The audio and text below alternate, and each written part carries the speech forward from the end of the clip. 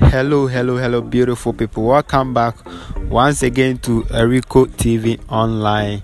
My name is Kojo Harrison. Thank you so much for always checking me out on my channel.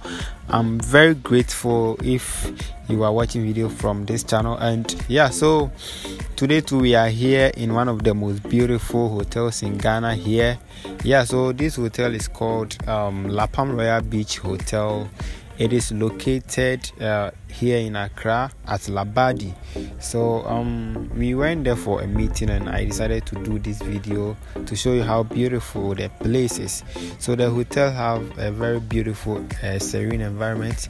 They have restaurant, they have swimming pool, and it is few meters away from the sea, so you can just go and stand at the seaside and have a view. Yeah. So um uh, if today is your first time here, my name is Kojo Harrison. Please kindly join the family as we take you around Ghana and show you how beautiful Ghana is. Thank you so much and enjoy the rest of the video. Peace out.